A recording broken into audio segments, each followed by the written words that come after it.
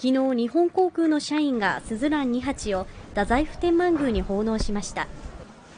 スズランは北海道に初夏の訪れを告げる花で毎年見頃となるこの時期に千歳市から届けられています。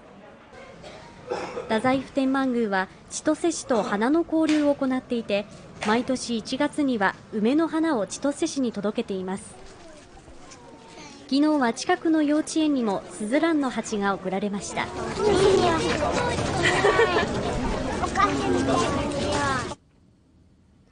千歳市からのスズランの奉納は今年で67回目となります。